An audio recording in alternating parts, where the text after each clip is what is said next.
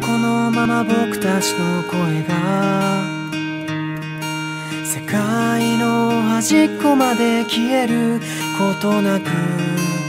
届いたりしたらいいのにな。そしたらね二人でどんな言葉を花と消えることない約束を二人でせーので言おう。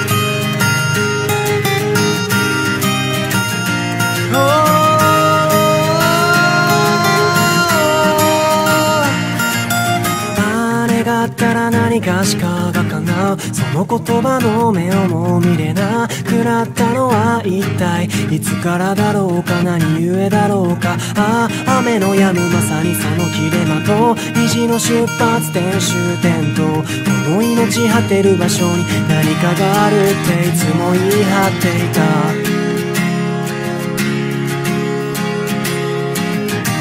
いつか以降前世